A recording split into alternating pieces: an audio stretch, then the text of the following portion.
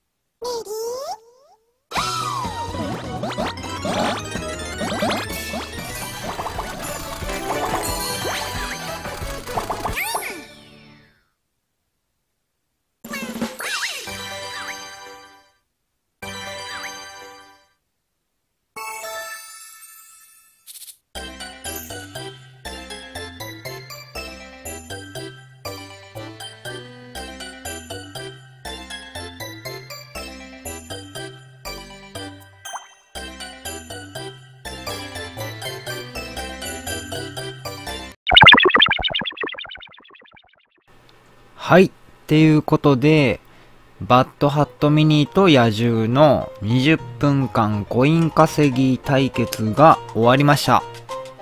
そして、もう早速ですが、えー、結果発表の方移ります。えー、この結果発表は、一応、底印計算と、あと倍率込みの計算をしています。それでは2ついっぺんに結果をご覧ください。それでは結果発表。ほい。バッドハットミニの方は倍率なしの底イン。20分間稼いだコイン枚数は47,553コイン。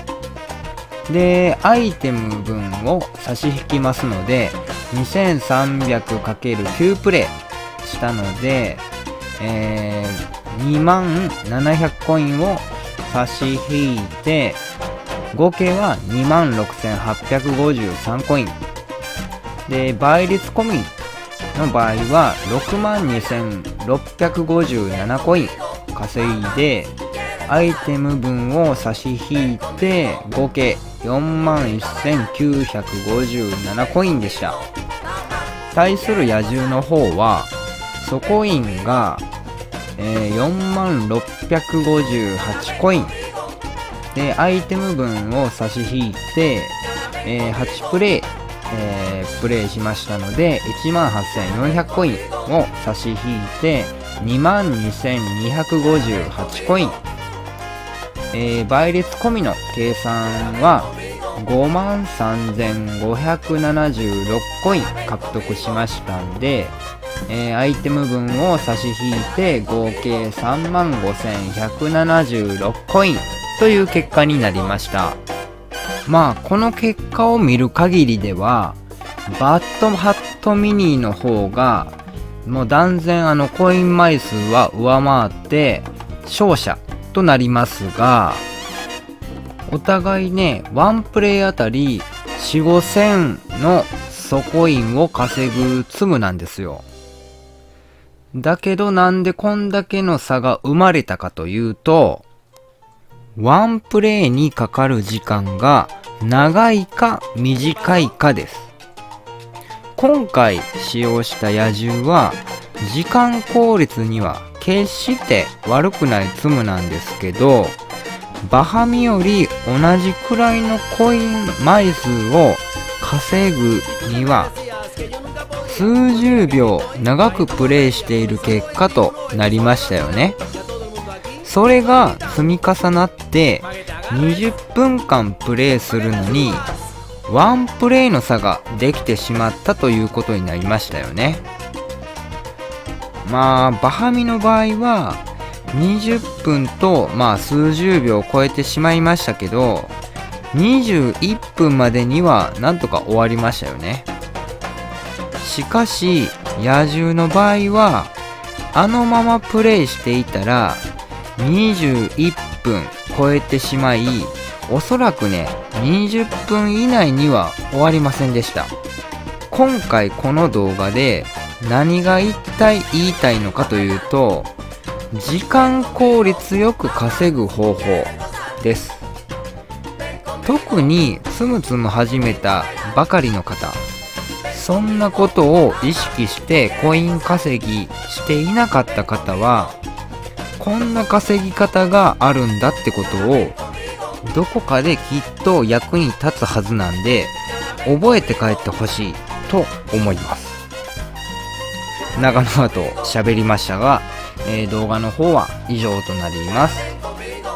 最後までご視聴ありがとうございました。またの動画でお会いしましょう。では、さよなら。